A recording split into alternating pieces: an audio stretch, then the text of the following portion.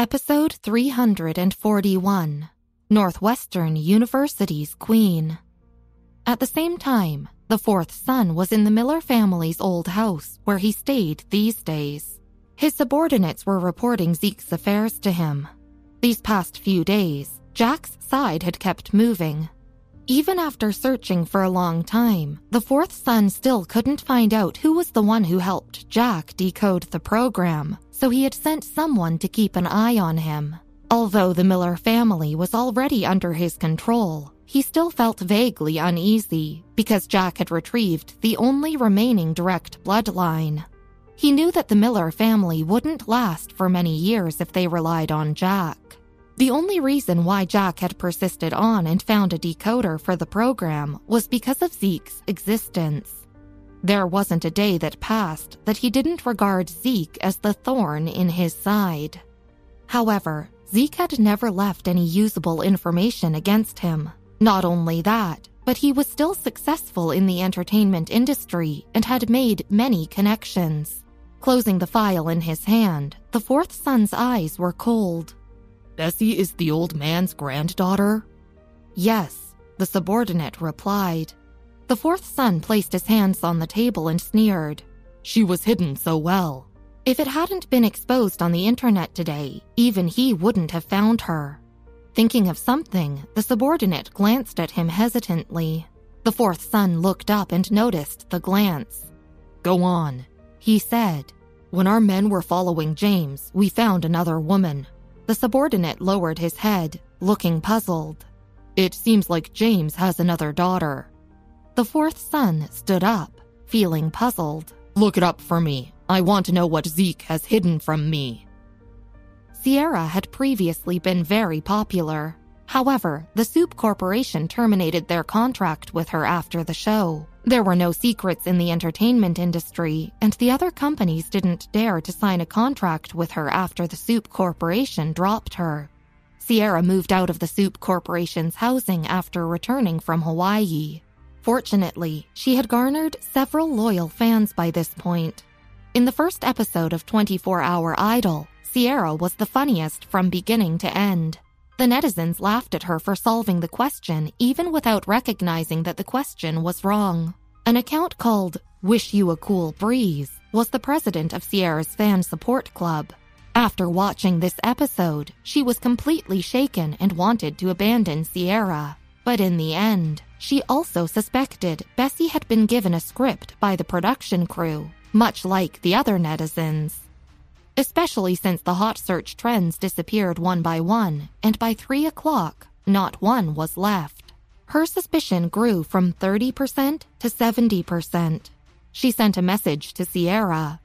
Did the production crew force you to help her set up her character?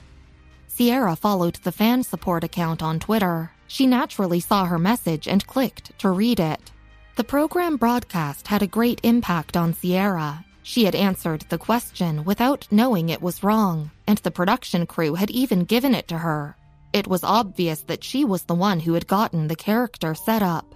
She pursed her lips. She hadn't expected the netizens to be focused on Bessie without easing up, because her performance seemed to defy nature Every netizen's attention was focused on her. Seeing this message, Sierra's eyes lit up, and she sent a reply to her. Yes. This single word sounded so aggrieved to wish you a cool breeze. Anger bubbled in her. She watched the program's episode again. She spent all night working on a Twitter thread. Finally, she posted it. Regarding this idol show, I just have three questions. One, for the first physics question, she didn't even look at it from beginning to end, which was also pointed out by Katie's cousin in the show. So, how did she know that there was no correct answer and the question was wrong? Two, she said she's from Northwestern University's Science and Technology Department. Do these people study the Babylonian literature? Can they tell the weak system at a glance? Video screenshot. 3. The most ridiculous thing is the scene with the violins. Is there anyone who can copy the music composition after hearing these two songs? Without using any paper, she can even conjure the notes out of thin air and can even find the two overlapping points. I'm afraid she must be a musical genius. Video screenshot. All in all, I think it's seriously disgusting how they pulled another actress off the show just to promote someone. And let's not talk about how she's a school nerd from Northwestern University. The production crew shouldn't highlight that they're scared of Northwestern University's school nerds now and bring haters to them. The people I know from Northwestern University aren't like this. Smiley face. The show was broadcast on Saturday night. When Wish You a Cool Breeze posted on Twitter at 5 in the morning, most people were still asleep. As the president of Sierra's fan support club, she also had followers. Her Twitter post became popular as soon as it was posted. The traffic increased sharply at 7 a.m. 24 Hour Idol had completely exploded on the internet because of Zeke. So many people searched about it. The analysis of the production crew's script from Wish You a Cool Breeze was well documented and even showed screenshots as evidence. This Twitter post quickly rose to the hot search. Some people commented on this post to comfort Sierra. I scolded you in the comments last night. Let me apologize to you here. This actress with the last name M eats too ugly. She can't even set up her character properly, I'll bet a million dollars that she just wants to shoot to fame in the entertainment circle. I already said that Sierra is a simple girl. How could she collapse like that in the show? Production crew, please be more humane. When Sierra woke up and opened her Twitter, she realized she had gained tens of thousands of followers. Many people even sent her private messages to comfort and apologize to her. She clicked on the post from Wish You a Cool Breeze. After avoiding her for so long, her manager called her for the first time and instructed her Your fans have done a great job. They'll help you clear your name and return to the path of fame. If this continues, we can still receive non biased advertisements. Don't participate in this matter anymore. Zeke Miller and the Soup Corporation aren't good to provoke. Sierra hung up. She stared at her rising follower count. Then looked at Ava's Twitter, which was nearing 7 million fans. She wasn't reconciled with this tiny gain. Since last night, the Soup Corporation hadn't issued a statement yet.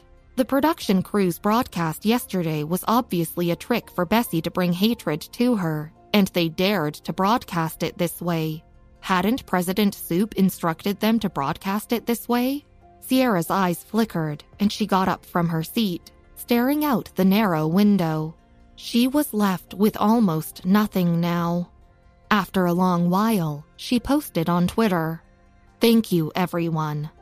This post was equivalent to her silently acknowledging the production crew's operation. It instantly brought a huge number of fans for her. Countless comments were comforting her. Her post instantly brought the production crew into a conspiracy theory and the matter was blown up further. At the same time, Zeke arrived at the Park Place apartments. He had come over early in the morning after hearing that Bessie would be there for lunch at noon. Bessie arrived at 8 o'clock. Glancing behind her, James didn't see Michael and couldn't help but ask, Michael isn't here? His father told him to come home to eat. Bessie pulled off her scarf and lazily sat down on the sofa. Zeke slowly drank his tea and greeted her, feeling relieved that she wasn't affected by the mess on the internet. Jack brought a pot of tea from the kitchen. He paused at the sight of Bessie at the kitchen door, but she didn't notice his strange reaction.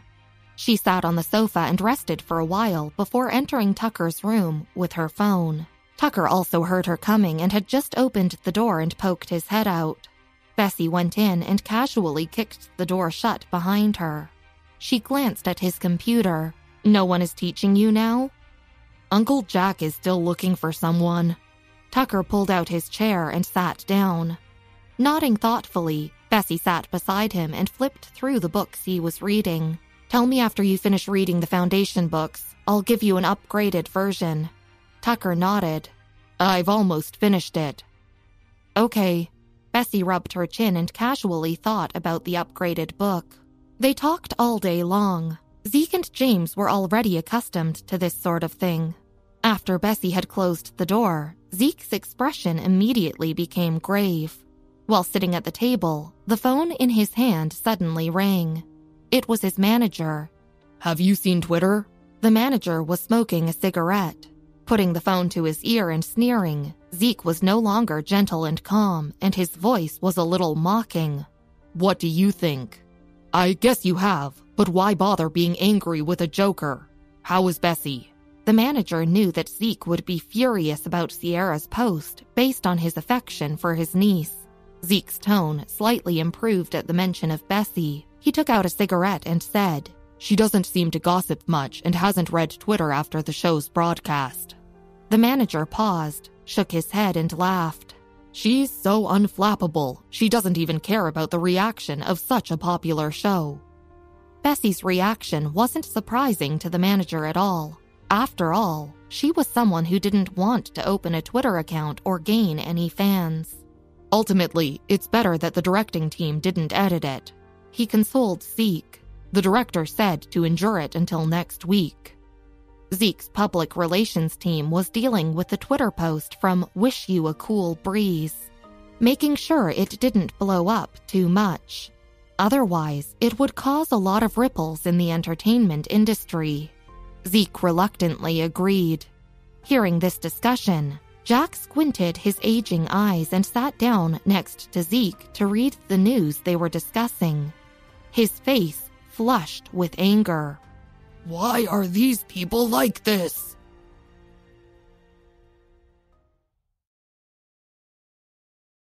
Episode 342 National Top Scorer. Hanging up, Zeke stood up, sounding much calmer. This is how it is online. Then we're just letting them be? Jack couldn't suppress his anger. Zeke nodded casually. He was about to turn off his phone and go to Tucker's room when he saw a notification pop up. It was an alert for the most popular recent posts. The top one was Sierra's tweet. Thank you, everyone. She had successfully brought things to the forefront again with this post. Zeke stopped and sat down again. Staring down at this post, he paused for a long time before laughing mockingly. Then he directly went to his call log and called the director again. Back at Northwestern University, Kara was excited all night and woke up at 9 o'clock. Instead of getting up, she laid on her side under the blanket. Flicking through Zeke's Twitter, she suddenly felt like something was wrong. She followed the clues of all netizens to the hot search. After a while, she found the post from Wish You a Cool Breeze, which listed the three crimes. Frowning, she closed Twitter and called the student union's president. President, who handles the official Twitter? She sat up suddenly, scratching her head. The student union's president knew that Kara knew Luke and Bessie and took special care of her. Your department does. What's wrong? There's indeed something wrong. Kara slightly narrowed her eyes. President, I'll tell you in detail later. I have to find our department head first. Because of Mary and the rest of her group, Kara was rather popular in the office now. The office staff didn't ask much after hearing that she wanted to use Northwestern University's official account and simply sent her the account number and password. Kara logged out of her Twitter account and logged into Northwestern University's official Twitter account. From the hot search, she clicked on the Twitter post, Wish You a Cool Breeze.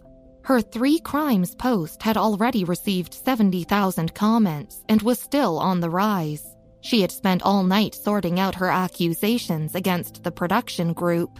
She posted a screenshot of Katie's cousin saying that Bessie hadn't even looked up the physics question, and also showed a series of similar pictures showing how Bessie couldn't have figured it out under such conditions.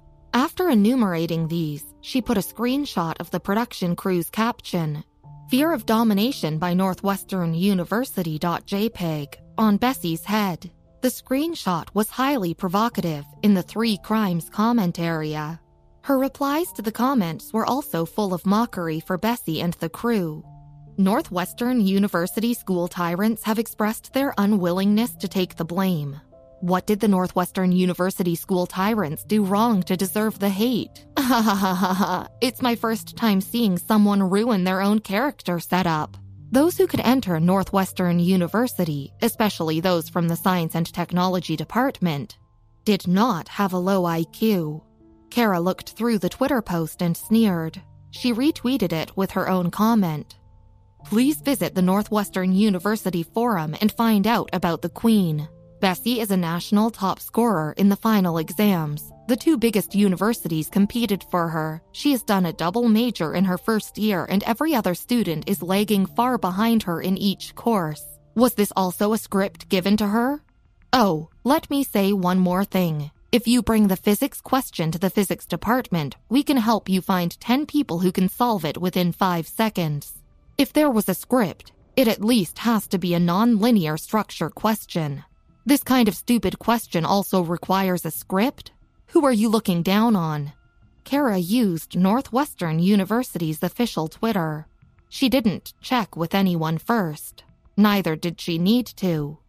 Who was Bessie? The first person to enter the Science and Technology Laboratory in December of their freshman year, and not only that, but she also had obtained six black cards, one for each experiment level. She had even helped Northwestern University surpass the University of Chicago by a huge margin, though they had fewer participants in the assessment.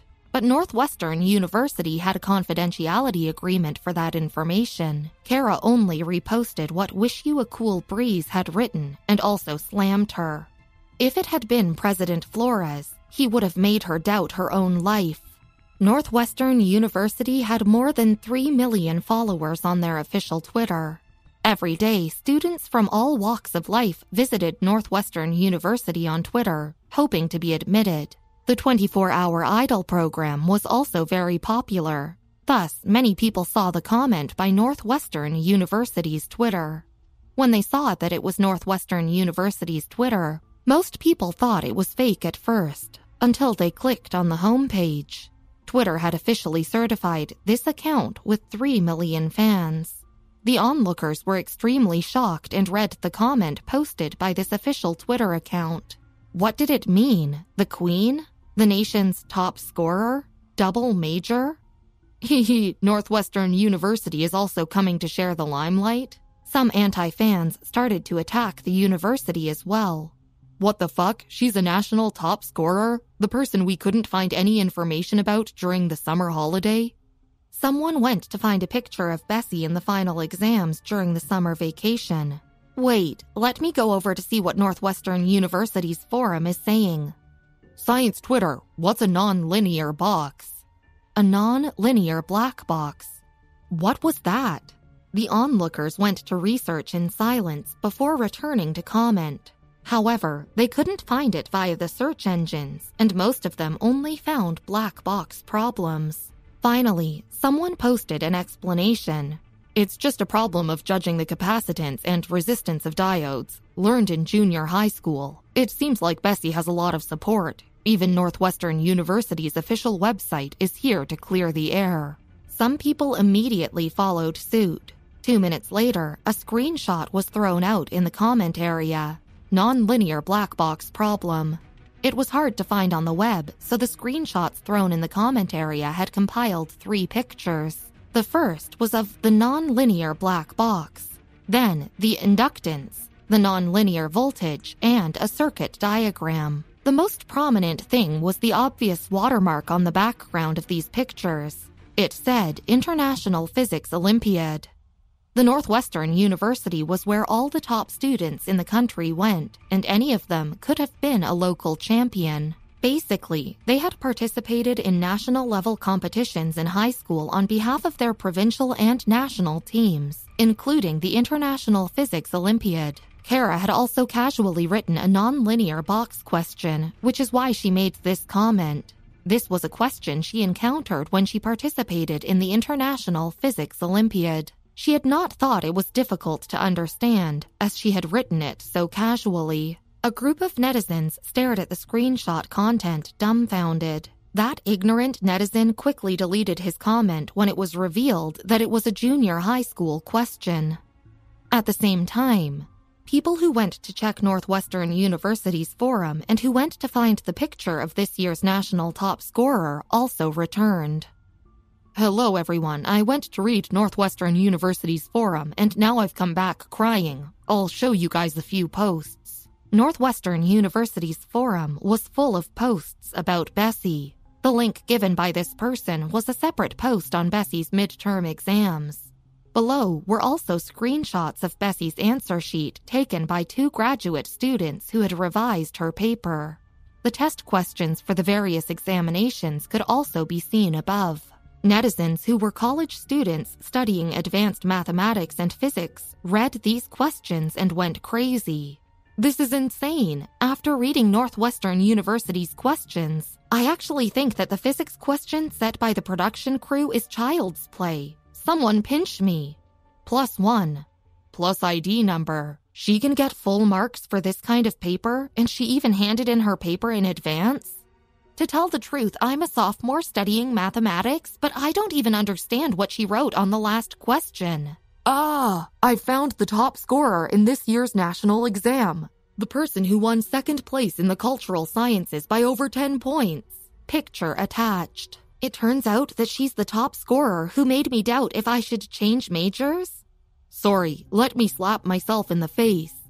Go search this year's national top scorer, then search for the difficulty of the test paper before commenting again. After posting on Twitter and watching the sharp rise in the comments and likes, Kara logged out, then got up from her bed. She went to brush her teeth and then call the student union's president. She informed him about the official Twitter post. It was Sunday and the student union's president was in the library. It's okay, I won't delete it, he assured her. On the call with Kara, he was surprised to hear about Bessie's situation. Instead of going to the library, he opened the official Twitter account and went to read the post. Northwestern University's students naturally had a sense of collective honor. Their own schoolmate was being bullied outside the school, and they were also slandering the school. Unlike many others, the student union's president was familiar with Jerome and knew about Bessie's feat in the laboratory. He also switched to Northwestern University's student union's official Twitter and retweeted the post from Wish You a Cool Breeze. He then tagged some of the top students of the student union. Many students of Northwestern University also had Twitter and had watched the program previously. They had only discovered last night that Bessie was on the show. When this Twitter incident broke out, the pictures of people ridiculing Northwestern University's school nerds also aroused their anger, especially the students of the Science and Technology Department. Among these people, some were top students who were influential on Twitter. Northwestern University's sophomores, juniors, and double majors all commented one by one. I'm from the Science and Technology Department. My second major is archaeology, but it's only today that I discovered that being from the Science and Technology Department means that I can't study archaeology. Can't I have other interests other than STEM? Smiley face.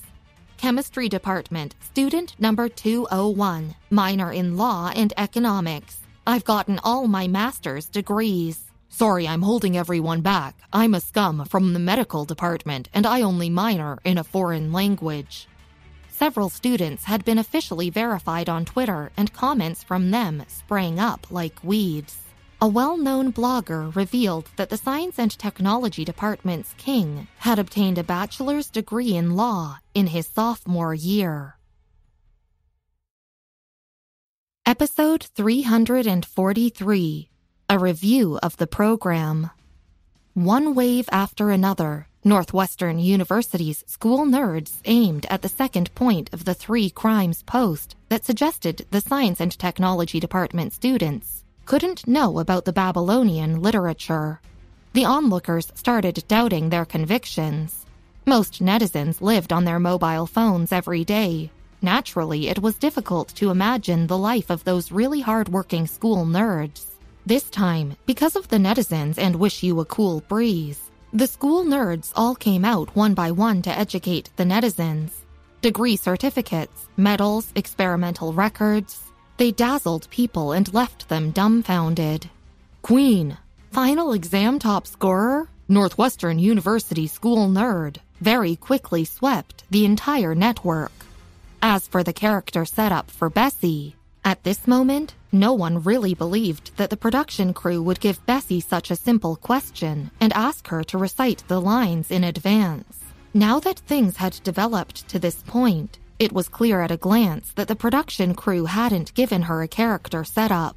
Netizens also realized that compared to what Bessie did in Northwestern University, those things on the program were really nothing. As for the Babylonian literature that Wish You a Cool Breeze specifically listed, a sophomore in the Science and Technology Department posted their archaeological papers that were collected by the state, and no one dared to refute them. How could they? What could they say? All the three crimes tweet posted by Wish You a Cool Breeze was still pinned on her Twitter homepage. After the appearance of the real Northwestern University school nerds, her three crimes seemed extremely ridiculous. The sentence, the people from Northwestern University I know aren't like that, was especially singled out and commented on. Blogger, that's because the Northwestern University school nerds you know are fake. When Zeke's manager saw Sierra's tweet, he came to the Park Place apartments to find Zeke. Over this period, the manager also understood how much Zeke valued Bessie and took care of every aspect of her well being. He had already taken all of these into account before the show was aired and hadn't slept all night. Wish You a Cool Breeze and Sierra's movements must have heavily affected him. After entering the apartment and realizing that Zeke was still there, the manager heaved a sigh of relief. Zeke was discussing things over the phone with the production crew. The director also hadn't expected Sierra to suddenly come out to steal the limelight. Her Twitter post had insinuated that the production crew was shady. Broadcast the second episode ahead of schedule. Zeke leaned back in his chair, his words sounding rather simple but it made everyone's heart leap in trepidation. The director on the other end of the phone took in this command while smoking a cigarette. In fact, as long as he broadcast the second episode, all rumors on the internet would be wiped out. Bessie would quickly attract fans, and that would make up for the first episode. Once that happened, all these negative comments would be nothing. Because of the second episode, her rate of attracting fans would be terrifying and the director felt like even Zeke and Noah couldn't compare. No matter how impressive the production crew was, could they possibly invite Toby and Noah to help shoot Bessie to fame? The problem was, the second episode being broadcast in advance was unprecedented. The major TV networks wouldn't want to cooperate with these arrangements. It had to be broadcast online and on the networks on next Saturday at 8 o'clock. After all, what about the other popular TV programs? No matter how impressive the program was, they didn't dare compete with provincial TV stations. And the schedule was created by the TV stations. Zeke, I'm still discussing this with President Soup. I'm a director and can't decide this. If you convince President Soup and open up the relationship between all levels of the TV stations and networks and get them to agree, I can even release it immediately. The director was about to cry. Zeke irritably took out a cigarette and dialed Robert's phone number. He had decided to call him directly. The director said that this episode was broadcast under Robert's instruction.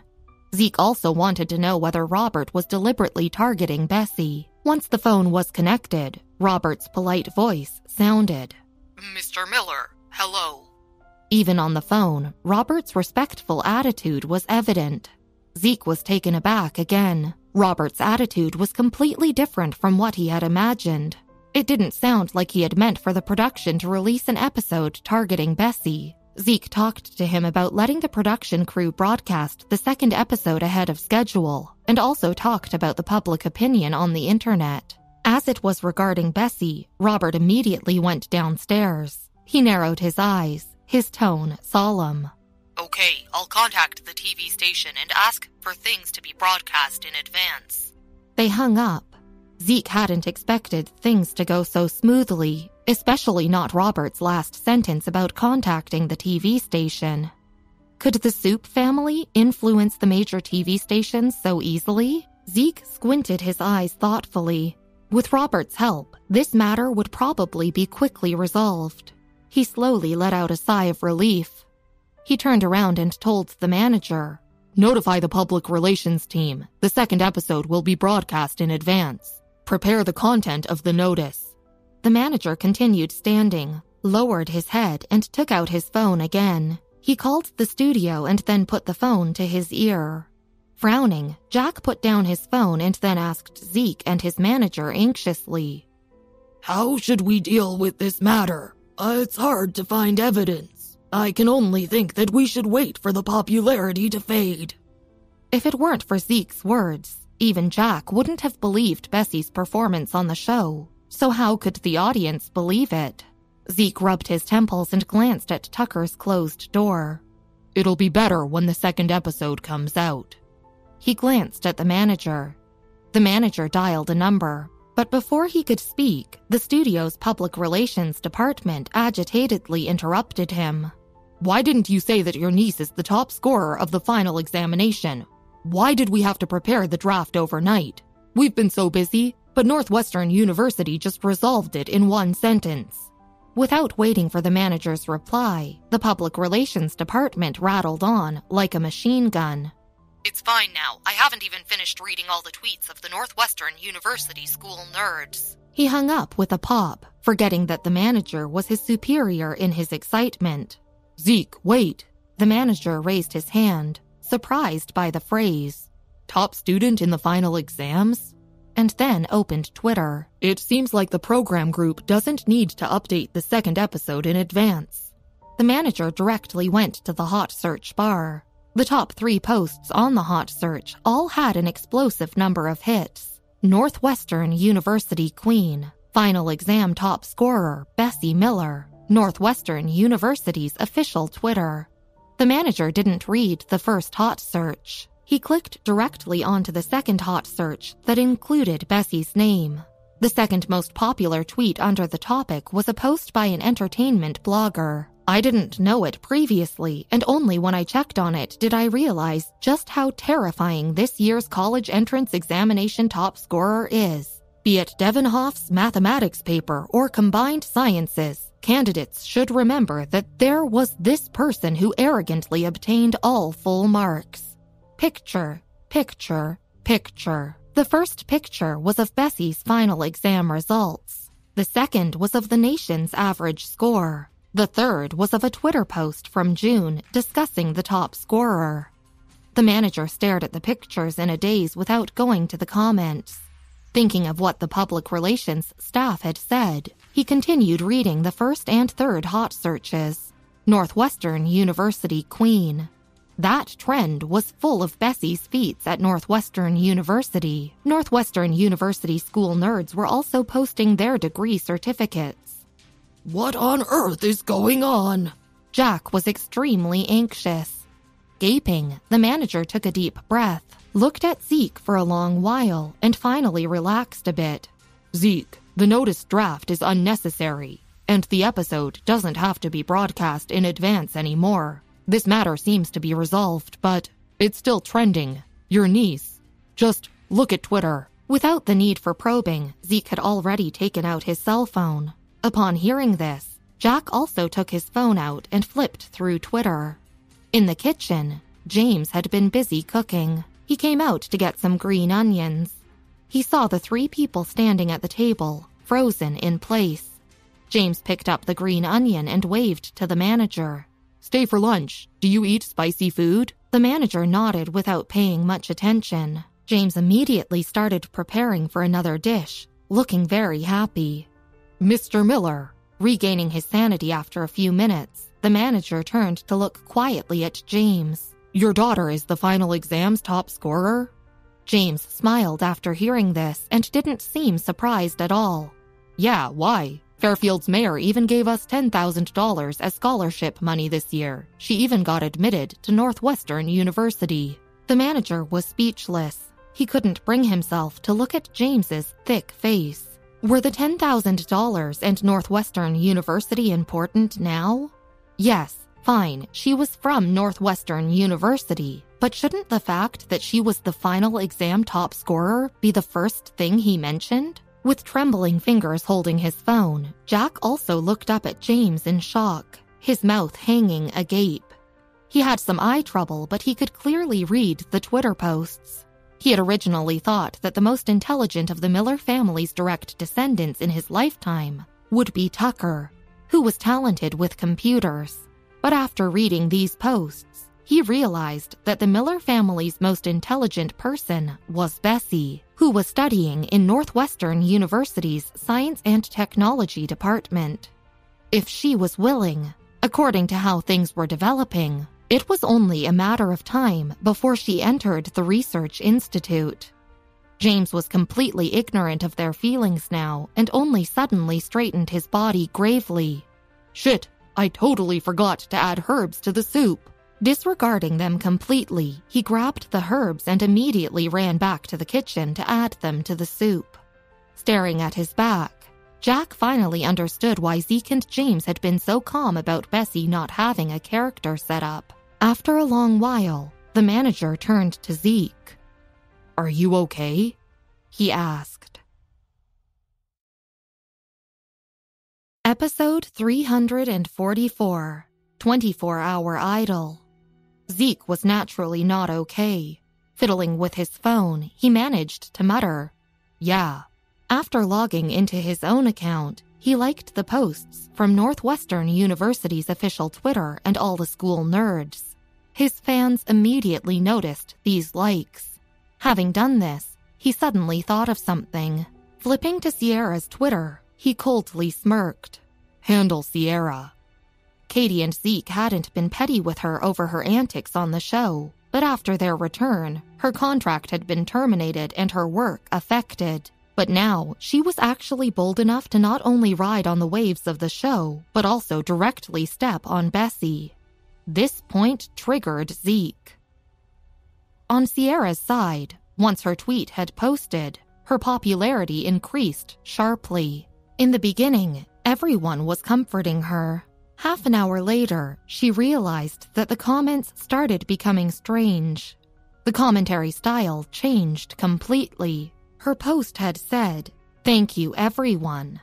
Guessing that the production crew had forced her to comply with Bessie's character setup, most people had felt sorry for her grievances, but now they were furious at being fooled. Sierra watched as her following decreased continuously and then went to the hot search. She started panicking. At this time, her phone rang furiously. She picked up immediately. Her manager started yelling at her. Didn't I tell you to ride the waves and take only a slice of the pie? Do you think Zeke and the production crew are so easy to be trifled with? It's fine if you want to meet your own downfall, but why are you dragging us along? The netizens are still cursing you out. Zeke Miller and the Soup Corporation are still waiting to have their turn. We're finished. Now it's done. You've achieved your goals. You're famous. You've successfully become famous. Are you satisfied? The Soup Corporation didn't originally have a dispute with Sierra. After all, it was the Soup Corporation staff member's mistake. But now, Sierra had made it impossible for them to ignore her. Even if there had been 100 of her, she wouldn't have been able to deal with just Zeke, let alone the Soup Corporation. Sierra's manager hung up weakly. Notifications popped up. Zeke's likes had already spread in the industry, the few people whom the manager had uneasily made connections with in the past few days all blocked him.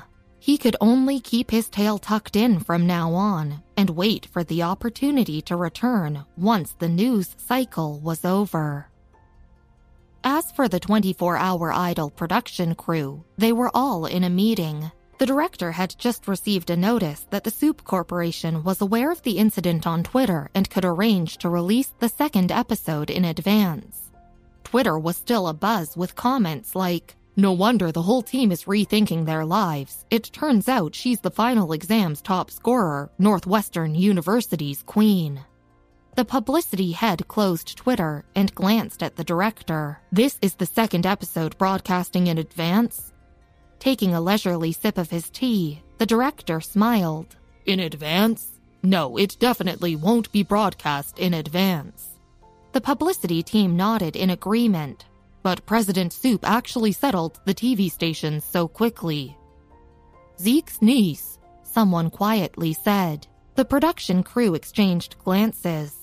Just now, the major TV station heads had directly called to discuss this matter, and it was obvious whose influence it was due to. I'll see if the second episode has any problems. The publicity head got up and went out to rewatch the second episode from beginning to end and confirm that nothing was wrong. Inside the Clark family house, Michael was still holding his phone tightly, slowly flipping through Twitter. Sitting in the middle of the room, Joshua's expression was grave as a subordinate reported the situation, sitting straight as a rod.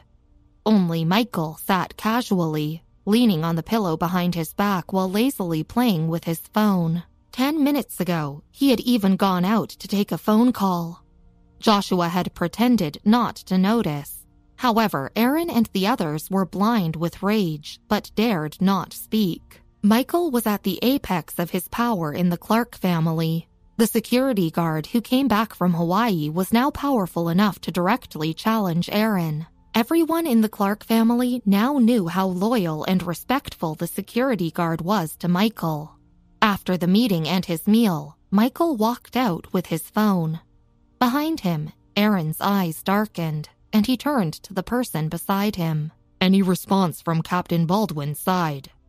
Captain Baldwin was a famous name in the Clark family's base in Evanston. He had returned to the headquarters two months ago and in just a short period managed to climb to the top position and accumulate significant power.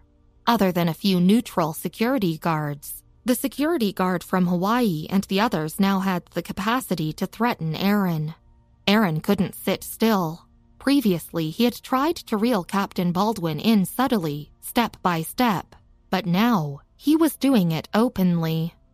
Captain Baldwin's side hasn't responded yet. He's only focused on bringing his men to training. He's being as indifferent as the other security guard.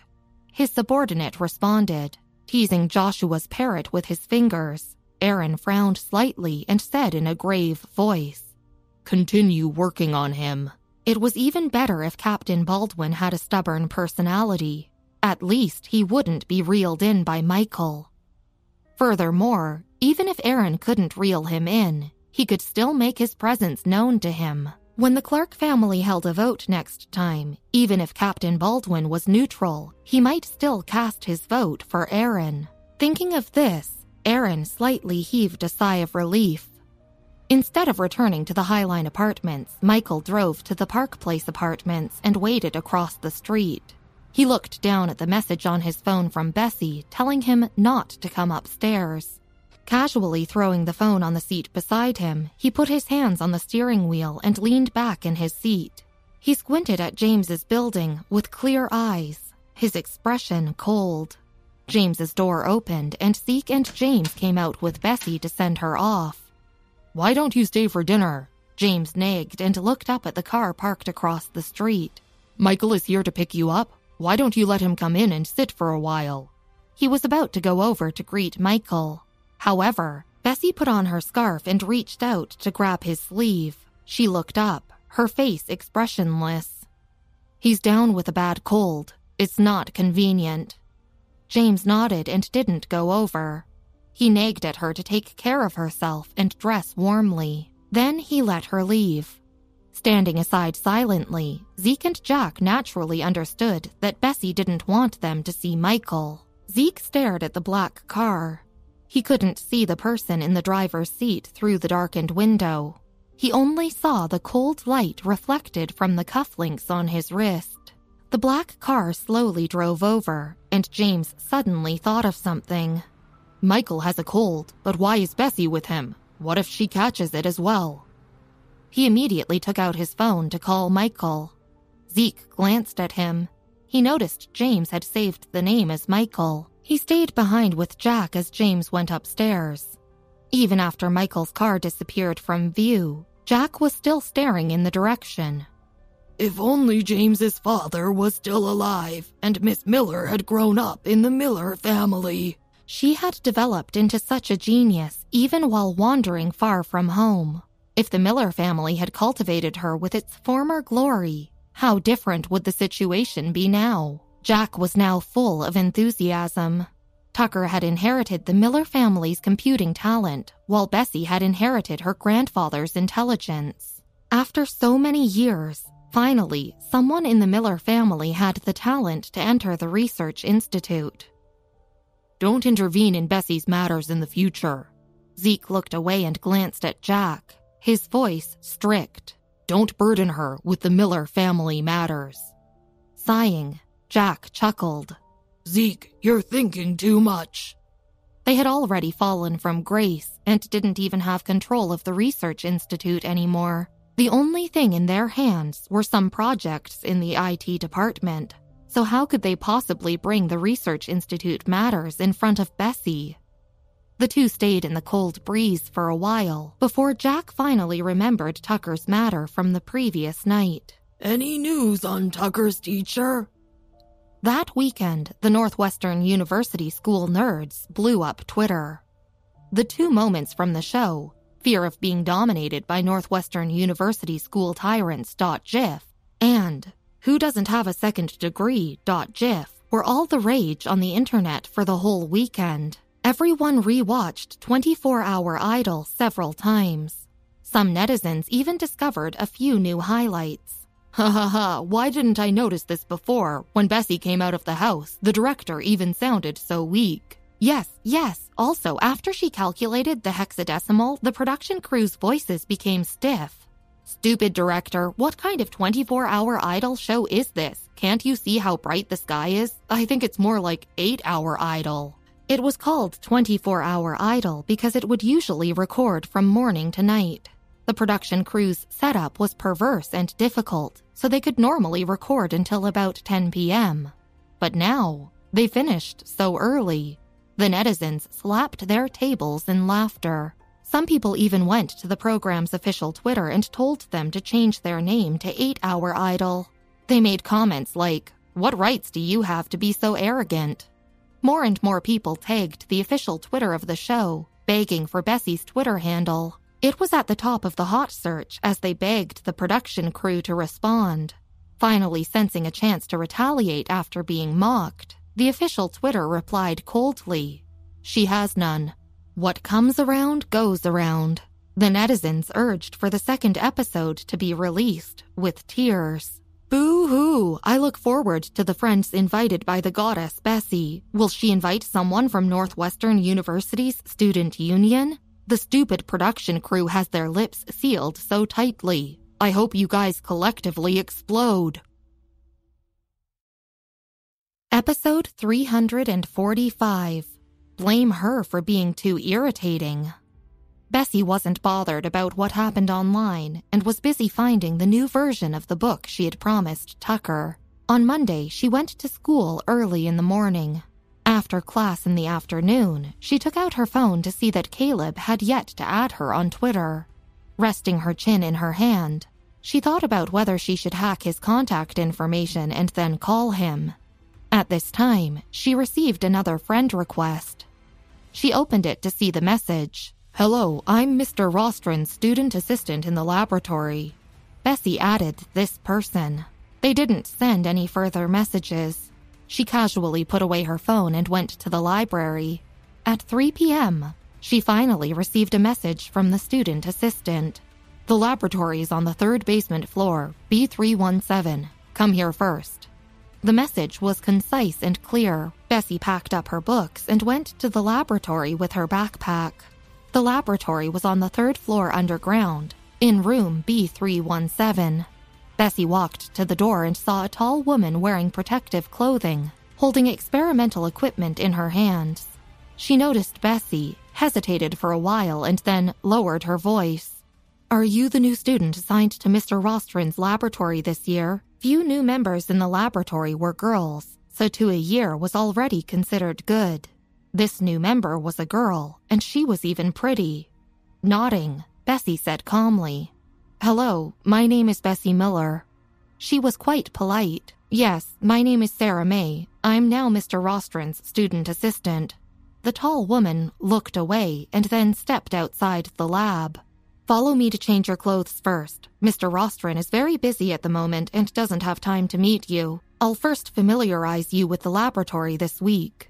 Bessie followed her to the changing room and put on a set of protective clothing. Then she followed Sarah into the laboratory. The laboratory was large and long, with a lot of precision instruments. Records of experiments filled the surrounding shelves, and some engineering research materials were also randomly placed on a few shelves. These materials were written by professors and researchers, and some were from research done in the hospital. The entire laboratory was divided into three sections by glass walls. Bessie and Sarah stood in the outermost area. Inside the inner areas, two figures stood, their faces unclear. Sarah took out a handbook from the shelf at the entrance and gave it to Bessie. This is the basic manual used by your laboratory. If you have a free moment, remember to check it out. Our laboratory has a total of three students. The one inside is Elijah. Sarah pointed to him, then continued. Mr. Rostron is doing very important research. You can move around in the two outer areas, but don't randomly touch things. And don't disturb Mr. Rostron in the innermost room. Looking down and flipping through the manual with her delicate eyebrows lowered, Bessie calmly answered, Okay. Sarah glanced at her and then went in and passed the equipment in her hand to Mr. Rostron. Mr. Rostron was looking at the data displayed on the screen in front of him, frowning. Mr. Rostron, the new student is outside, Sarah said. Nodding, Mr. Rostron remained silent and didn't even turn to look. He was originally from the Research Institute, not the laboratory. In the Research Institute, he rarely brought new students because it was too troublesome. He only had two students, Sarah and Elijah. The experimental process had always been slow. Major laboratories already had microreactor experimental equipment from the Research Institute. As long as students could control the current and the number of reactions, they could make a microfusion reaction as well as energy testing equipment. However, the reaction had too many variables. He had discussed with other scholars more than once in the Research Institute, and so far, he still had yet to find the material that could replace the magnetic field and laser to control the reaction process. The laboratory had a reactor underground that had been left by a researcher at the Research Institute 20 years ago. A layer of unknown metal laid outside the reactor. So far, no one in the Research Institute had identified the metal material. Mr. Rostron looked at the data and returned to the experimental bench behind him. Elijah, increase the magnetic field. He stared at the micronuclear fusion happening under the glass cover.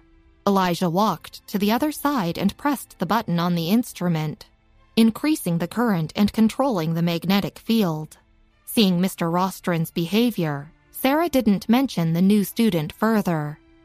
Give me the data from yesterday's experiment. Mr. Rostron watched the reaction, pushing his glasses up and speaking in a serious tone. Sarah thought for a while and walked outside to get the data. After reading the laboratory manual, Bessie strolled around the outermost area. What she focused on was the engineering research and laboratory materials on the shelves. Bessie, coming from inside, Sarah glanced up at her as she flipped through the shelf. Find the records of yesterday's experiment, print them out, and bring them over. It's on the computer behind you. After speaking, she turned and went back in. Bessie stopped flipping through the book. She glanced behind her. An LCD computer was placed in the corner of the room, still turned on, and the screen densely displayed many documents. The documents were marked with a date and serial number. Bessie took a look and found yesterday's data record on the screen. She scanned the cumbersome data and disorderly tables. Then she pulled out a chair and sat down. She tidied up the form, reordering the experimental records and conclusions. Ten minutes later, she clicked the button to print the documents. Checking that there was no problem, she directly walked to the laboratory on the innermost floor. Instead of entering, she just stood at the glass door. She knocked on it with her fingers, but the sound wasn't loud. When Sarah saw her, she came out and walked straight to the computer. Is there something you don't understand about the data record? She asked. The daily data records were messy and cumbersome. Previously, she and Elijah had taken turns collating them, and most of the content was brought over from the Research Institute. Seeing Bessie approach her, her first reaction was naturally that Bessie didn't understand something. No. Bessie handed the printed documents to her and slowly said, It's printed. Huh? Sarah was taken aback. So fast? Looking down, she opened the experimental records and flipped through them. The records on it were orderly and carefully sorted out without any obvious mistakes. Sarah took the experimental records and handed them to Mr. Rostron. Then she came back and took out another form and handed it to Bessie in a hurry. Calculate this, she said before returning to the inner room. Bessie took a look at it. With one hand in her pocket, she stood outside and looked at the three people inside for a while. Then she went back out to the outermost area, picked up the book on the shelf, and read it for half an hour. Only then did she open the software on the computer. She typed a string of code and then looked at the results displayed. She wrote down the messy and cumbersome data before showing it to Sarah, who didn't say anything since she had taken a normal amount of time. Pulling out the stool in front of the computer, Bessie sat down, crossed her legs, and put the book on her lap. She leaned back and slowly read it. Under the incandescent lamp, her eyes were like cold jade. When Elijah took his cup to the drinking fountain outside to get water, he saw the newcomer flipping through the book and was taken aback. This kind of beauty was indeed rare in the laboratory. He stared at her as she turned over the logs of the Science and Technology Department. Elijah introduced himself. You must be the new assistant here. She greeted him and continued to look at the logs. Her eyes were cold. This new assistant was a little cool. Elijah filled up his cup and stood by the water dispenser, drinking water while watching Bessie. Then he walked to the shelf beside him, found a book, and walked towards Mr. Rostron while flipping through it. After turning to the research page that Mr. Rostron needed, he looked outside again. Bessie was still sitting on the chair and calmly flipping through the book as if she hadn't just entered the laboratory and wasn't a terrified, ignorant newcomer. When Bessie was halfway through the book, her phone buzzed. She picked it up from the table and glanced at it. It was a message from Michael. He asked her when she was getting out of class. She glanced at the time. It was 5:30. She clicked on the chat and slowly typed a response. I'm in the laboratory. I don't know when they'll finish their experiments. She hadn't even seen Mr. Rostron's face yet. After sending this sentence, she threw her phone back onto the table and continued flipping through the logs. The logs recorded all kinds of events from the time the laboratory was established to the present day. The one Bessie was flipping through was updated through last year. What happened 20 years ago was vaguely breezed past. She spent nearly two hours reading the book from beginning to end. Closing it, she stood up with her hands on the table and leaned on it. Checking the time, it was 7 p.m. She put the book back on the shelf. When she turned around, Mr. Rostron and the others had come out. Without taking off his protective clothing, Mr. Rostron put on his gold rimmed glasses and looked at her. You. He had focused on the experiment and hadn't paid attention when Sarah talked to him. Sarah reminded him Mr. Rostron, this is the new student, Bessie. Oh, yes, Bessie. He nodded. If there's anything you don't understand in the future, you can check the information from both sides or ask one of them. Otherwise, you can shout for me. After that, he went outside.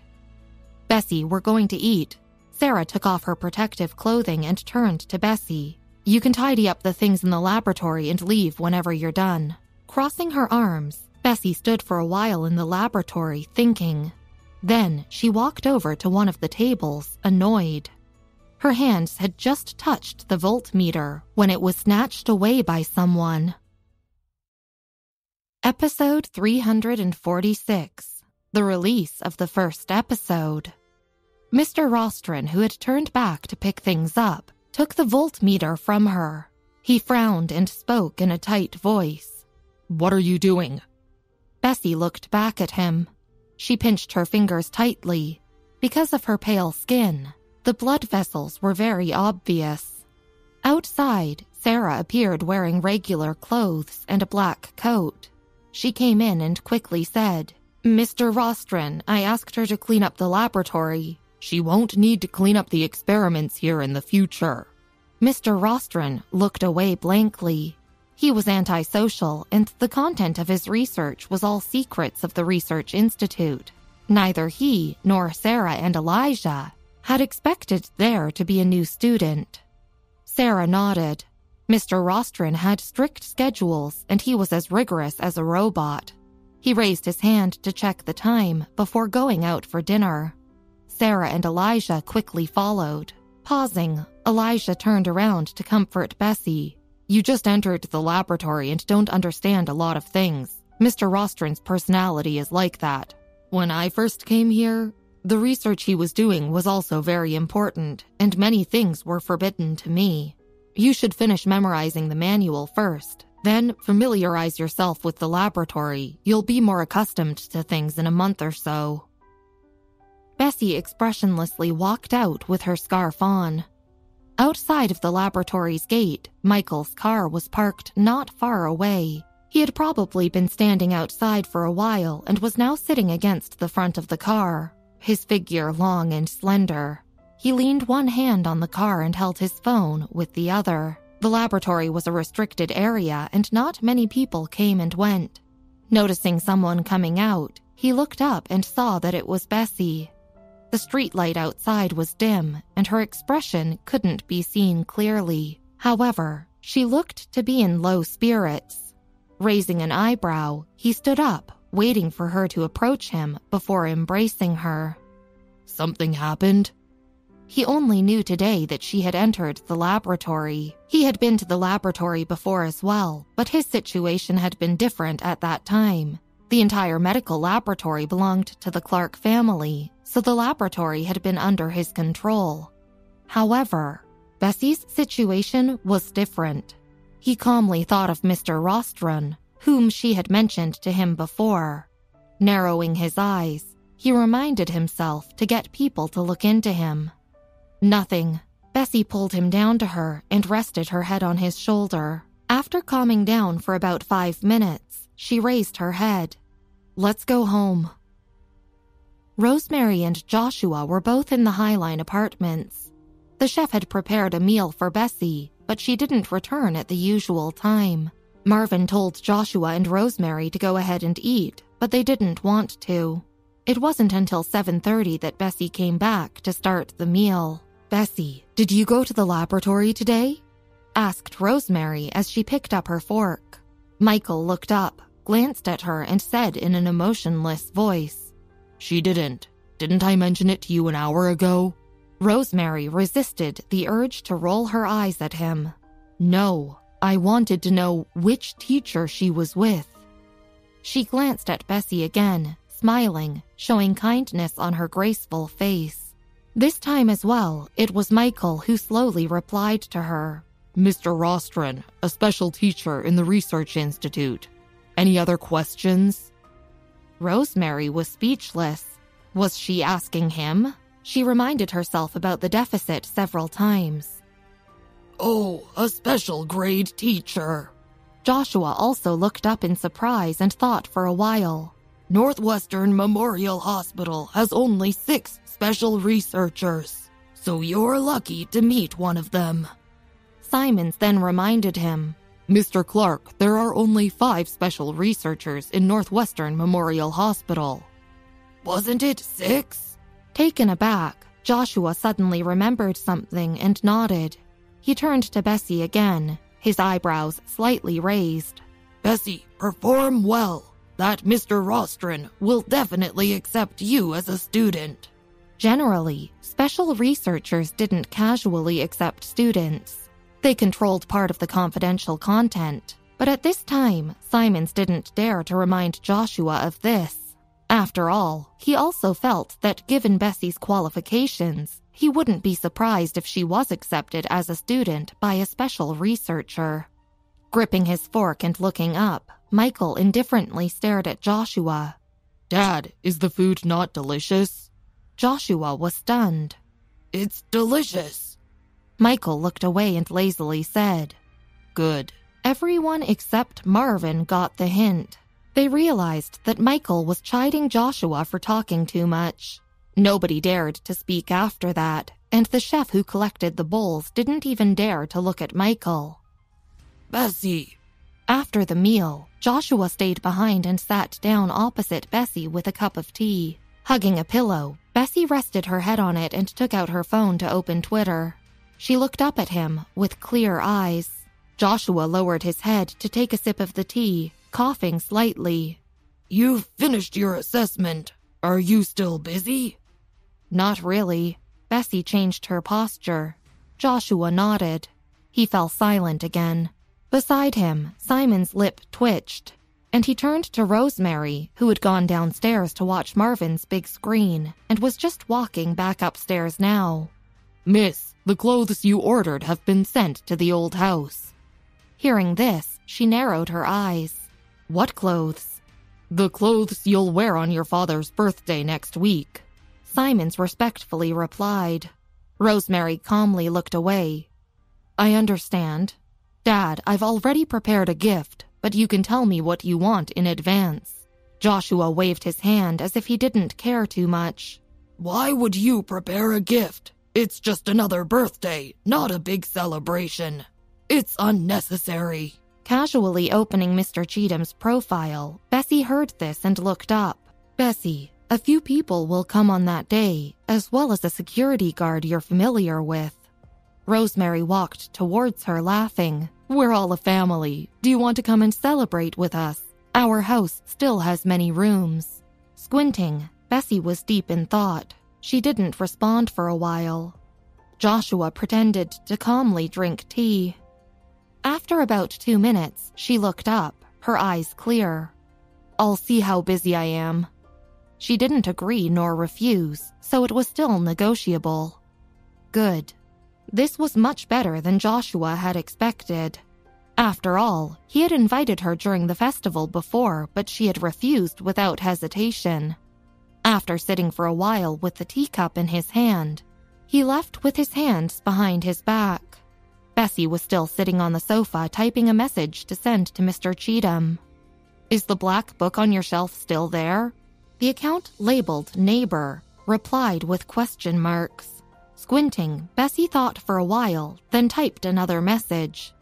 Chicago, computer store, the sixth book on the fourth floor of the second column of the bookshelf. After a few minutes, he replied with two messages. I've told you many times, it's not called a black book. That's the Hacker Alliance's programming book. Bessie squinted at the last line and was silent for a moment. It was indeed a black book with a black cover and a few stiff white horizontal and vertical lines as decoration. A few irregular white letters were also written. But it was black.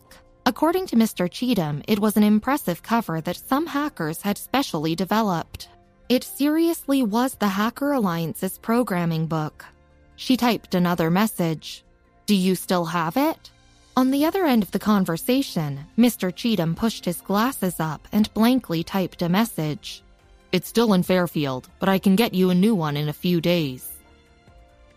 A few days, and it was finally Friday. Bessie's schedule was packed. After class, she received a message from Principal White. She thought for a while and thought that he must want to explain the experimental task assigned to her. She took her backpack and went to see him. At the same time, in Laboratory B317, Elijah hurriedly walked in with a bunch of documents. The new student sorted out the data very quickly yesterday. He handed the documents to Mr. Rostron and suddenly thought of something. Have you seen her today? He asked Sarah. Putting away the transformer she was working with and returning to read her papers, Sarah just looked up, glanced outside, and shook her head, not caring too much. Maybe she can't accept the gap between us. Those in Northwestern University's Science and Technology Department weren't ordinary, especially those who could pass the laboratory test. They were considered geniuses. But who wasn't a genius in the laboratory? Here, apart from the formal researchers, who had the capacity to be arrogant? Every year, a certain number of people passed the laboratory test, but only a few could enter the research institute. The mentors and professors were used to this and naturally wouldn't coddle the new students like the outside world. It was normal that those proud children couldn't stand being ignored for the first time by their instructors and would stop coming. After several blows of neglect, they would come obediently. Hearing Sarah's words while flipping through his book, Mr. Rostron frowned lightly. He continued doing his experiment. I'm going to work on my paper. Sarah was carefully continuing to revise the paper she planned to submit to SCI. She was a member of Mr. Rostron's laboratory, and everyone in the laboratory, including her, wanted to become his student. Elijah had published three papers. Sarah had just published a paper and was researching other projects in the same area during this time. In a private restaurant near Northwestern University, Bessie sat face to face with Principal White. Research about this. Principal White handed her a document. She put down her fork and took a look. It was a slightly complicated research material on a computer science subject. Every year, the laboratory recommends candidates for the Research Institute. Principal White ate a piece of food before slowly speaking. Luke took his private team abroad to participate in a research project at the end of September and is now in the Research Institute. From freshman year to now, 10 research topics have been published on SCI, and they have been jointly promoted to the Research Institute. Those students are now in the third level. Principal White looked at Bessie. He particularly emphasized the 10 SCI research papers, dragging out the words. He was giving heavy hints. Bessie closed the document. Her reply was slow. Episode 347 The Comment Session. I got it. Reaching out to pull over her backpack, she put the research document inside. Luke wrote the paper very diligently, said Principal White as he picked up a spoonful of vegetables. Casually throwing her backpack aside, Bessie glanced at him and calmly said, He's very diligent in law studies as well. I heard he's been looking for a professor to mentor him. Luke was good at everything. He also set aside one day every week to study the law and didn't even go to the laboratory. Because of his achievements in science, his teacher tried to earnestly exhort him, but still failed to persuade him. The teacher couldn't beat or scold him, so he finally found a law professor for him. Principal White paused and then kindly said, of course, the experimental projects are more important. SCI papers and the likes can be done slowly. There's no rush. Bessie looked away from him and continued eating, with her legs crossed. The two finished their meal. It was already six in the evening. She didn't walk out with Principal White, but saw Michael's car parked by the road immediately. It wasn't Michael in the driver's seat, but Patrick instead. She opened the door of the back seat and got in. Michael was still reading a document when she got in. He closed the folder and put it aside. Leaning over casually, his eyes were clear and his tone was casual. Have you eaten? Yeah. Bessie put her backpack casually on her lap. In the driver's seat, Patrick glanced at the rearview mirror and respectfully asked, Miss Miller, should we go back to the Highline Apartments or the experimental? He suddenly paused. A few days ago, Michael had asked him to check on Mr. Rostron, so he knew he was a special researcher in the Research Institute. Having checked on his information, he found that they were first level encrypted. Without 129's help, he couldn't do much more than check on his general character. Most of what he was asked to search was about Bessie, Recently, Michael didn't even let others mention the laboratory. Patrick paused mid sentence. Resting her chin in her hand, Bessie glanced at him and casually smiled. Ever since Monday night, she had been in a bad mood and was a little impatient. Fortunately, she had calmed down after returning to the Highline apartments. But Michael kept it in mind. He had reacted very strongly, especially when Joshua spoke. Bessie leaned against the door and chuckled. She really didn't care about the things in the laboratory. Rosemary, Joshua, Dean Soup, and the others all hoped she could find a good teacher in the laboratory and that it was best to achieve an apprenticeship to Mr. Rostron because Mr. Rostron was one of the five special research fellows in the Research Institute. But they didn't know that Bessie had not gone to the laboratory to find a teacher. She had already been apprenticed by Principal White. She had gone to the laboratory to do projects and research. According to Principal White, he wanted her to participate in international project research like Luke. Of course, it would be even better if she could write a few professional SCI papers and add more academic content to the laboratory. Ten minutes later, the car arrived at the parking lot. They got out of the car and headed upstairs. Patrick parked the car and followed them up with the car keys. Upstairs, Marvin was having a video call with Mary's father, asking him if the flowers and leaves would wilt every winter and discussing if there was a problem with his cultivation method. When Bessie and Michael came in, he said goodbye to Mary's father and hung up. On the other end of the phone, Mary's father turned to look at Mary, who was holding an economics book, and sighed at Mary's mother. Marvin is a really good gardener, on the other end of the phone, Marvin hung up and went to retrieve a package from the side of the door. He handed it to Bessie. Miss Miller, your package. Bessie took off her coat and scarf and put them aside. She checked the date and guessed that this express package was probably Mr. Cheatham's black book. So she didn't open it and prepared to directly send it to Tucker.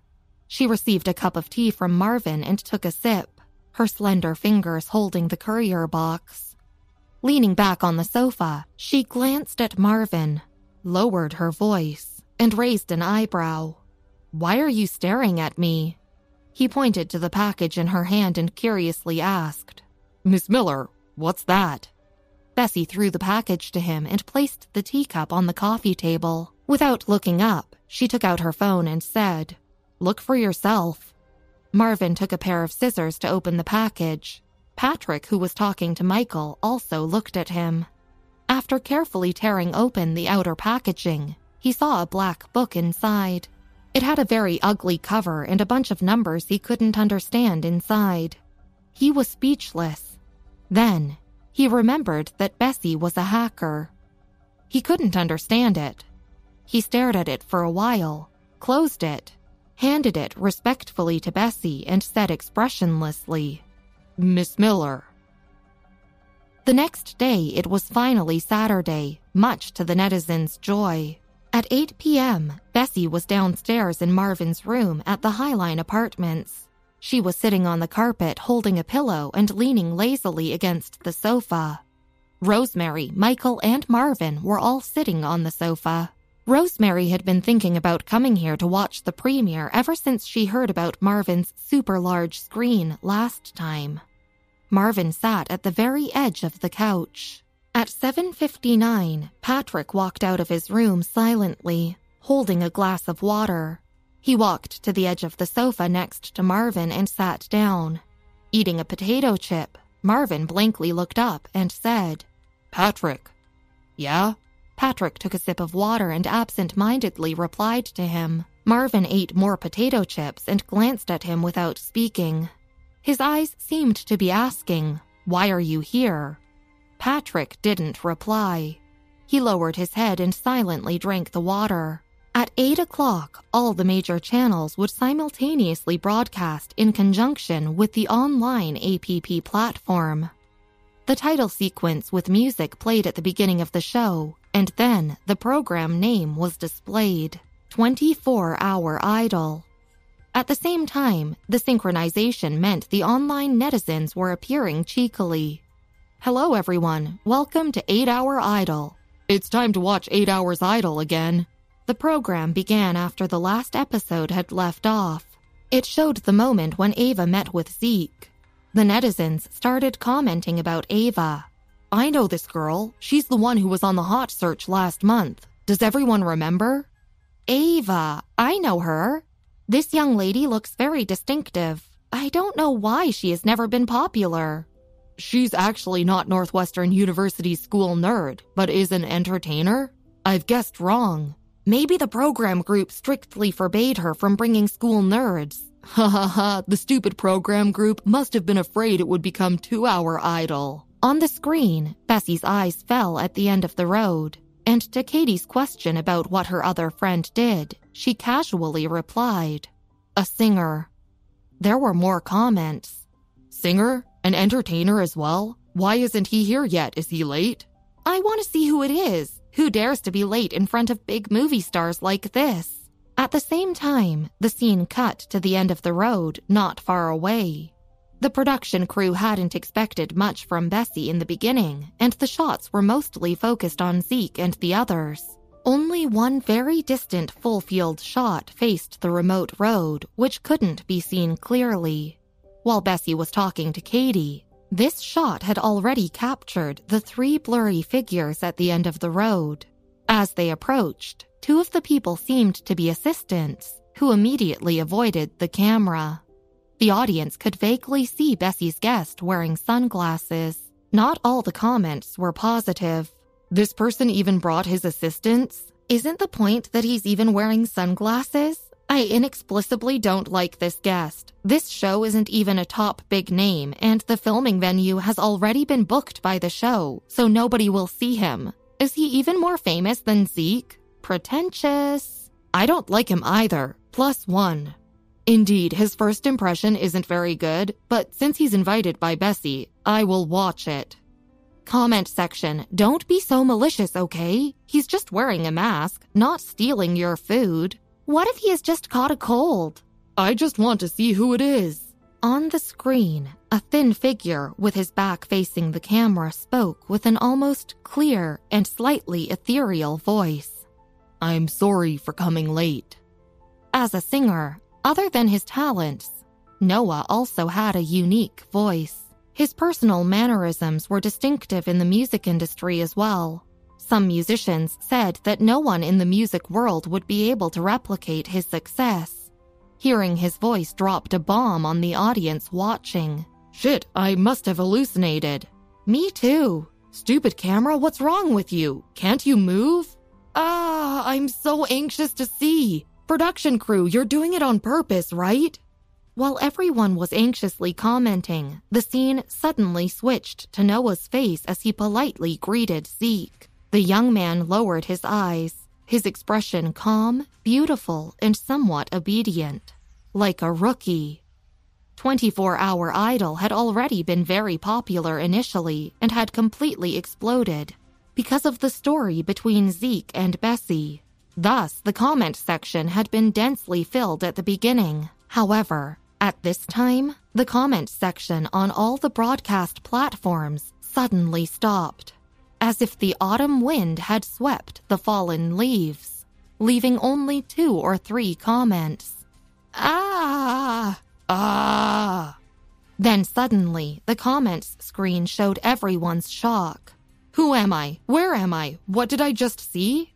I actually have the chance to see Noah on a reality show in my lifetime. I'm crying. Production crew, are you gods? This is really once in a lifetime. Production crew, I salute to you. Not much to say. This production crew is amazing. Isn't he Bessie's friend? Hurry, everyone. Hand the cigarette to the big boss. Before the program even ended, the hot search on Twitter had already updated. Episode 348 Northwestern University's School Nerd. Noah and Two Kings in One Kingdom were the top searches. Twitter soon exploded. The overworked programmer who finally had time to watch the live broadcast at home was called back to work overtime as soon as it started. After all these years, Noah had become famous. He was initially popular for his music and later because of his distinct style in the entertainment industry. He didn't accept endorsements, commercials, or movies. He just wanted to do music and never tried to create hype on the internet. Fans could only see him through concerts and music videos.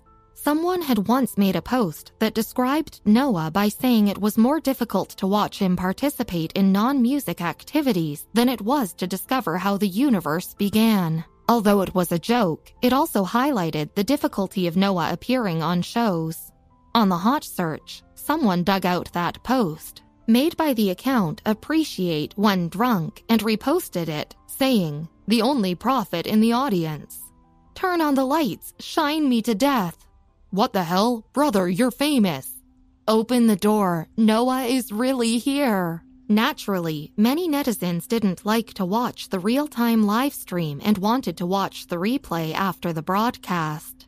Many of Noah's fans only focused on him and were not paying attention to the show. Seeing the hot search that was almost paralyzed with results about Noah, they reluctantly opened the live stream. The popularity indicator displayed on the upper right corner of the live stream was increasing at an exponential speed. At this time, the program showed them dividing into teams and then heading off to find clues. On the sofa, Rosemary crossed her legs. She looked at the missions set by the production crew and smiled at Bessie. In order to turn the tides against you, the production crew will target you the whole time, she said. It was obvious that this episode was meant to make things harder for Bessie. She leaned back silently. Michael lazily raised an eyebrow turn the tides against her. Just look at how they gave shooting missions, slicing parts, paintings, and putting together components. It's so obvious they're trying to get her to fail. Rosemary picked up her teacup and felt like something was wrong with Michael's indifferent expression. The comments agreed with Rosemary. Ha ha ha ha, the production crew has expressed their fear. Well, it has been determined that this episode is indeed 24 hour idol. Bessie's group was relatively undisciplined, while Zeke's group had already found some clues from the shooting mission. Undoubtedly, many scenes were of Zeke. Sierra's performance was also remarkable, but because of everything that had happened last week, even if she did nothing, people were still mad that she existed in the show. The audience simply didn't want to see her and was convinced it was a setup even if she performed well. Does anyone remember the post on the forum about Bessie shooting during her military training? Someone in the comments asked. Me, I remember. Why didn't she go to clear the shooting mission? Is archery different from the shooting in military training? I just want to see Bessie's heroic shooting. However, on the screen, Bessie had already stated that she wouldn't participate in the shooting and gave it up to Zeke. She even took Ava and the others to see the ghosts in the old house. The production was well funded, and the ghost house's decorations were gloomy and terrifying. Bessie and her party of four had just entered the old house. Through the screen, the chill coming from the soles of their feet could be felt. A female ghost in a red wedding gown suddenly popped out. With a pale face and black hair hanging down, her face was covered, and only the back of her head could be seen. Even Rosemary was shocked, as if she was watching a horror movie. The comment section was full of shit, worried that Bessie and Noah would be scared to tears. However, they only saw Bessie directly walk past the female ghost, seemingly commenting on the old house. Noah and Ava politely asked the female ghost sister if there was a checkpoint here. Katie's cousin asked seriously, Can you twist your head off like in the movies? The female ghost was speechless. I guess not. You're just a copycat ghost. He was extremely disappointed. The female ghost was speechless. The real time comments went wild. Ha ha ha ha ha, to hell with this whole team of insensitive boys and girls. I feel distressed for the ghost sister, but I really want to die laughing. Online seeking the female ghost psychological thoughts. 20 minutes had passed since the beginning of the show, so almost a quarter of the episode was over. Zeke's group had two mission cards at this time. The comment section also began to get impatient. Zeke is spoiling his niece. He actually gave her the shooting missions card that he worked so hard to obtain. I mean, just look at her face. I also think they're just messing around, but I still like watching it. Ha ha ha ha ha. Noah, your voice will be heard no matter what. The scene showed Bessie handing the barbecue to Noah. Then she typed a string of codes in the computer, and a high level clue popped up. The comment section was filled with question marks. The program slowly turned to Bessie, leading Ava and the others to the violin mission. Ha ha ha, they're finally doing a mission, but Zeke and the others have been there already. The old man at the mission point didn't even lift his head. It's a little difficult. The next second after this comment, the old man in the scene passed the advanced clues to Bessie very neatly. He also chatted familiarly with Ava. The audience was shocked. WTF?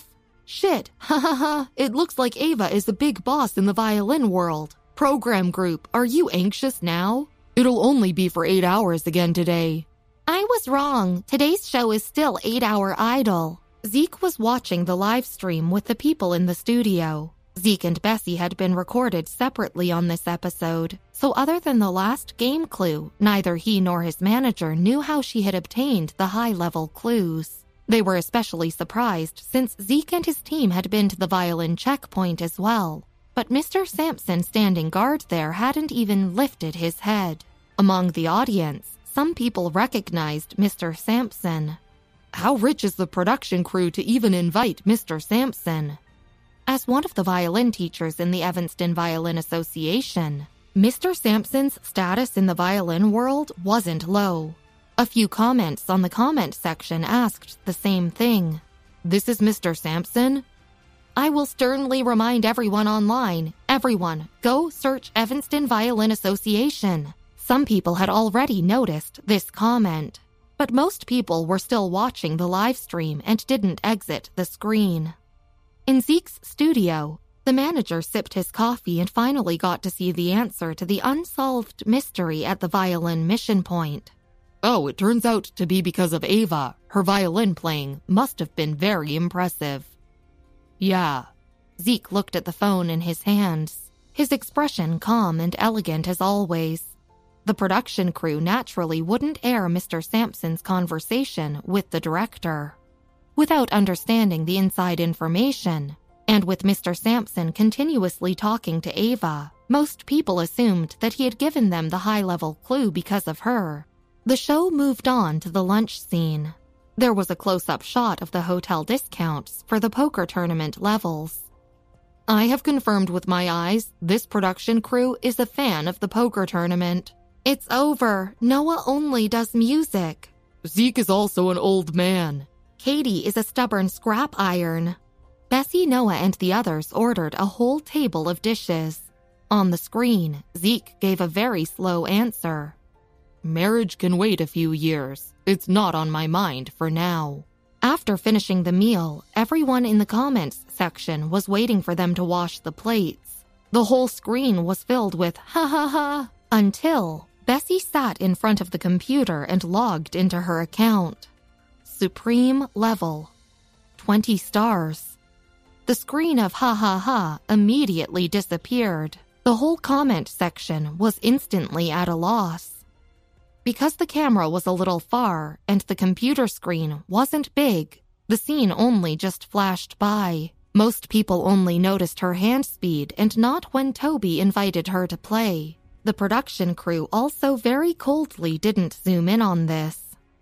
Bessie's game lasted for only eight minutes, and the production crew had to reluctantly cut it into half, including the replay of the game. After watching the live stream, Zeke stood up, absent mindedly plucked at his sleeves, and then drove Tucker home. Tucker. He took his key and walked them out before asking, Do you like computers? Putting his phone in his pocket and wrapping his scarf around his neck, Tucker remained silent and only nodded. Zeke opened the door for Tucker and then got into the driver's seat, turning to look at him. I'll find you another impressive teacher. You're so smart, you should understand what Jack and I want you to do. You have the chance to make a decision. Got it. Tucker lowered his head and slowly played a game on his phone. That was his way of expressing his agreement. Good. You're just like part of the Miller family. Zeke reached out to caress his head. Glancing out of the window, his clear eyes darkened. We're going to have a big war next. Don't worry. The fourth son would find out about Tucker's existence eventually. He had to find a way to fight against the fourth son. After Zeke and Tucker left, the studio fell into silence. This pair of siblings is very impressive at games. Is Bessie really that good? Someone asked. The people in the studio basically all played the poker tournament, which had swept the whole world. The manager calmly took a sip of coffee and glanced at the others. Watching the live stream wasn't as exciting as seeing it in real life. He shrugged.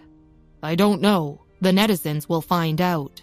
He took another sip of coffee. He was also curious, but he didn't dare to ask. But the netizens were a magnifying glass. The studio people silently lowered their heads, took out their phones, and opened the video app. They clicked on 24 Hour Idol and rewatched the last 10 minutes. Just like them, the majority of the netizens were rewatching the broadcast. Amongst these people, there were naturally fans of the poker tournament. Some people also remembered the comments about Mr. Sampson and went to search for the Evanston Violin Association. Netizens always went over programs with a magnifying glass and couldn't wait to pull out all the antics from celebrities for examination. Episode 349 Angry Netizens. At the Highline Apartments, Rosemary and the others had also finished watching the show. Shall we go see your brother tomorrow? Michael got up from the sofa. He casually pulled Bessie up as well. Bessie still had the black book with her. Getting up, she threw aside the pillow in her arms and followed him upstairs, her hands casually holding the book. I'll see. These past two days, she had been studying the experimental project between her and Principal White. The two continued talking and headed upstairs. Behind them, Rosemary and Patrick exchanged glances. They were a little surprised. Although they didn't play games professionally, they understood the situation after seeing Supreme Level 20 stars pop up on Bessie's account, as well as the stunned comment section and how the internet blew up afterward.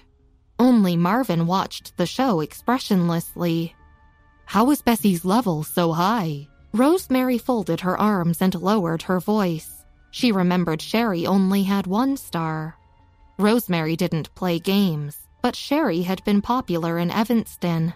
So she had mentioned it to Rosemary and Sebastian when she attended their banquet. Marvin finished his bag of chips and threw the trash into the trash can. Hearing this, he simply shook his head. He didn't know. Rosemary looked away and left thoughtfully after bidding farewell to Bessie and Michael. At the same time, on Twitter, someone had edited together a video from all the clips of Bessie playing. They posted it with the caption, A school nerd comparable to professional players. The hot search for this rose to second place after Noah. Other than his fans, other poker tournament fans also clicked on the video. I edited the footage of the restaurant, questioned by the game masters. This can be on the hot search as well? This Sierra is only a one star level and is considered good in the entertainment industry, but in the esports circle, she's only an ordinary passerby. At this thought, the comment section suddenly went crazy. Nuclear energy warning ahead. Famous scene. Watch it a billion times. Bessie's large scale slaughter of fans on the scene. I recommend you to pause at 234, 250, and 327 to watch the game interface. Bessie's hand speed is too fast. Try watching it a few more times. Some netizens couldn't download it and just went straight to the comment section. Sure enough, three screenshots were found in the most popular comment. First screenshot Toby invited Bessie to play a game. Second screenshot Bessie's game friends. The first page was all supreme level and above. Third screenshot her record. The netizens went crazy over these screenshots. I'm crying. She has god level friends. She's probably played with the sun god. How did she get 20 stars? What kind of girl is she? After they worshipped the game gods, some people became microscopes and began to examine the video. Um, does anyone remember the final tour of the Devil City OST competition last year? Don't guess, I'll just tell you. At BM. There are too few old fans. Many have forgotten the winter game that abused their hearts four years ago. Let me point the way to Poker Tournament's official goods store. The hotel owner is a first generation fan. I'm crying. Neither Zeke nor the program team expected Twitter to explode again within an hour after the broadcast. They were still in Zeke's studio. Because of the broadcast today, the studio people had been working overtime for fear of trouble. But fortunately, no trouble was caused after the broadcast. They were preparing to pack their things and leave work. The person in charge of the studio's official Twitter was surprised to see the private messages and the increasing number of fans on his page. So many comments? Some people had followed this Twitter because of watching the show. The manager knew that some netizens had already dug out the show editing where Toby invited Bessie. Not surprised, he calmly asked, Was Toby exposed? The staff was silent. What's wrong? With no work tonight, the manager had put on his coat and was prepared to head home. Seeing the staff's reaction, he couldn't help but pause and ask again. A staff member turned his head silently and reached out to hand his phone to the manager. They did dig out Toby, but there's something else. Look at it. The manager reached out for the phone. Twitter's hot search had just been updated again. He originally thought that it would be either Toby or Bessie on the hot search. But unexpectedly, neither of them was there. Even Noah's post that had occupied the hot search for two hours had been successfully squeezed to the fourth spot. The first three spots were all about the poker tournament. The World Poker Tour's best player, BM, OST Toby Yearling's winter game. What was this weird hot search? It had squeezed Noah's show post out of the first place. Noah was one of the most famous people in the entertainment industry and was a particularly mysterious singer. It was imaginable how much traffic a famous star like him, who never participated in shows, would bring by suddenly showing up. Although two hours had